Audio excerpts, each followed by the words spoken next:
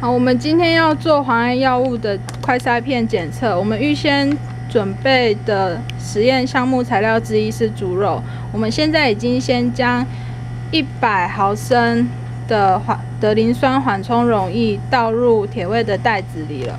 那么我们现在要将我们准备好的材料放入铁胃拍打。